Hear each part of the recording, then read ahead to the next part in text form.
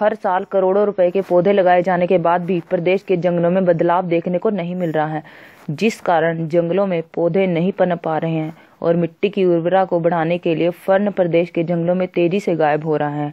एक शोध से खुलासा हुआ कि अब वन विभाग को हर साल करोड़ों खर्च कर पौधारोपण का तरीका बदलना पड़ सकता है। पर्यावरण शब्द आते ही हम सबको पेड़ लगाने की याद आ जाती है। वन विभाग के ही एक शोध में बात सामने आई कि पर्यावरण संतुलन में घास, झाड़ी, फन ज़रूरी है। बिगड़ते जैव संतुलन पर एक शोध किया गया तो पाया कि जंगल में बढ़ती इंसानी दखल से जंगलों में पाया जाने वाला फर्न तेज़ी से उत्तराखंड के जंगलों से गायब हो रहा है। बीते दशकों में इसका संरक्षण नहीं होने से यह विलुप्त होने के कगार पर पहुँच गया है।